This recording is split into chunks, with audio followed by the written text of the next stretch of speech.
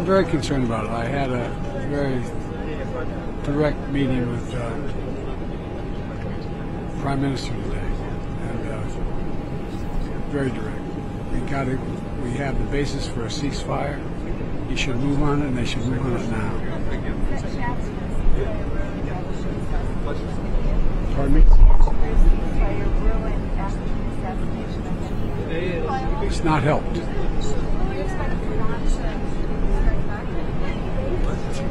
That's all I'm going to say right now.